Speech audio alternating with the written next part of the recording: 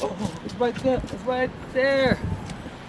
Oh my God, my God. Oh! I was shocked. I was terrified. It was a typical Friday morning for Ernst Demond. She dropped his kids off at school and came home. But when he popped open his hood to do some work, he found a constrictor in his Cadillac. I saw the snake. I just went crazy. Everything in my skin, I, I got goosebumps. Yes, a snake curled up and sitting on his engine. And he tells 7 News he has no idea when or how the snake slithered its way into his car. I don't know how long it's been in my truck. And I took my kids to school this morning with this snake in my truck.